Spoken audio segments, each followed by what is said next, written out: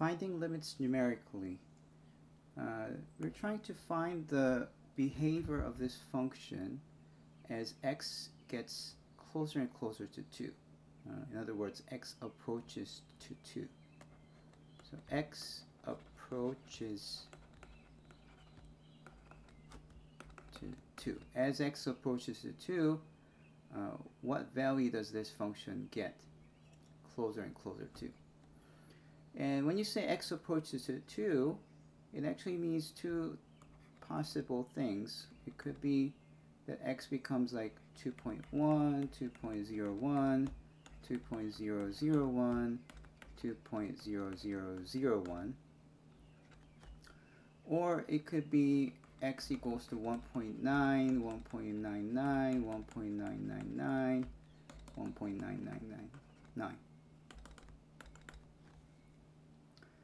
And uh, it doesn't have to be these numbers. It could be like 2.1 uh, and 2.02, 2.003, 2.000, some other number. Um, all I'm trying to say is that there are two kinds of approaching to 2, which is one is you could approach the 2 from the right. So let's say this is 2.1. In other words, uh, this is the number line, and I've magnified it a lot so that 2.1 is here.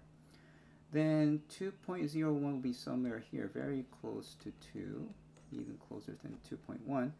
And then 2.001 will be here, and then somewhere really hard to distinguish from the 2 will be 2.0001, okay?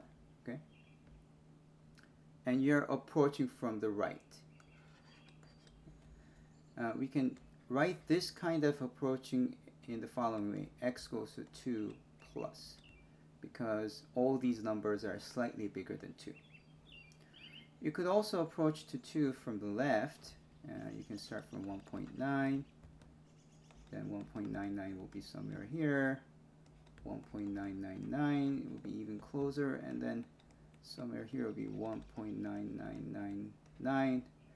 And it will be really hard to distinguish from 2. And notationally, we write this as x goes to 2 minus because all these numbers are slightly less than 2. Now, if we say f of x is equal to this above function,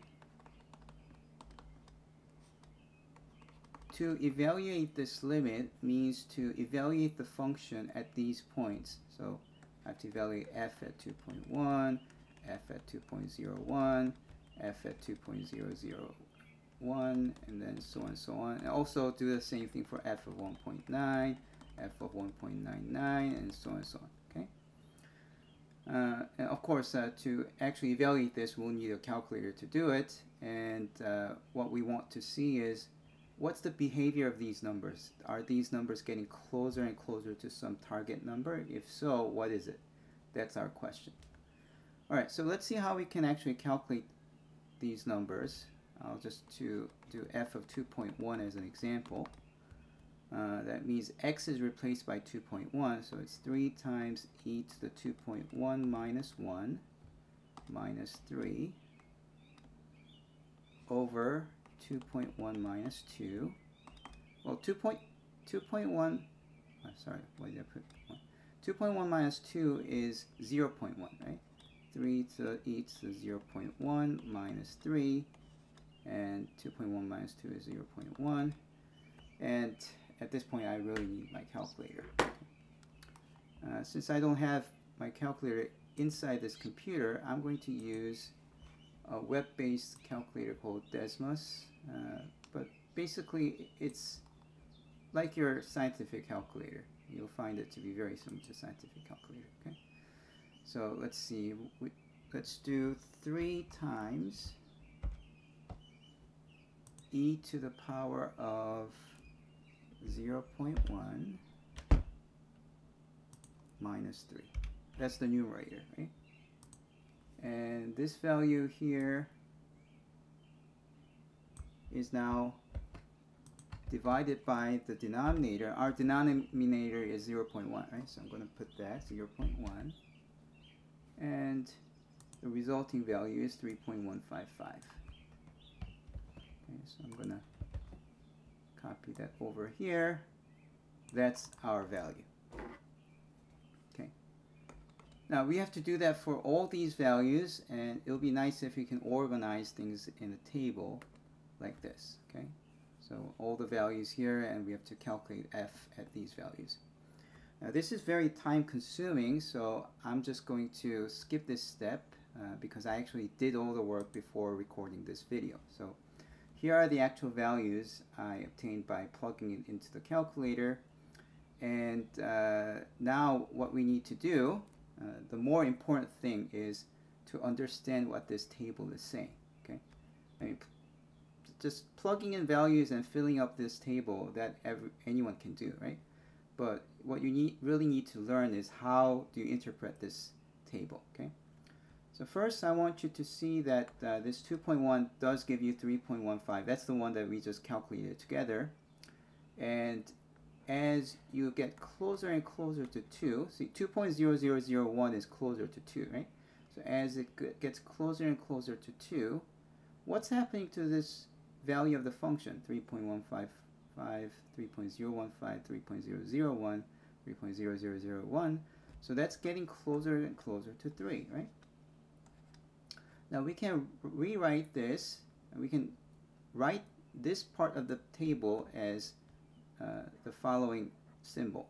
The limit of this function 3 times e to the x minus 2 minus 3 over x minus 2 as x goes to 2 from the positive side is equal to 3. Now because on the number line these numbers are on the right side of 2, this type of limit is called the right limit.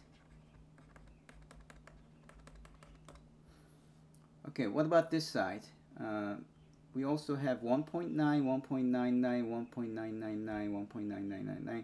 So you get closer and closer to 2 uh, but from the left. So here, uh, x is approaching 2 from the negative side. Well, here, x is approaching from 2 from the positive side. So this right side of the table is x approaching to 2 plus, whereas on the left side of the table, I see that x is approaching to 2 from the left. Uh, I hope you know that 1.9999 is much closer to 2 than 1.9. Okay. Now, again, you see that the value of the function is 2.8, 2.98, 2.998, 2.9998. So had we put one more 9 in there, we're probably going to get more 9s, right? 2.9999, right? So it will get closer and closer to th 3 as we put in more 9s. And this side of the table can be written as as x goes to 2 minus of this function 3 times e to the x minus 2 minus 3 over x minus 2 is equal to 3. And this is called the left limit.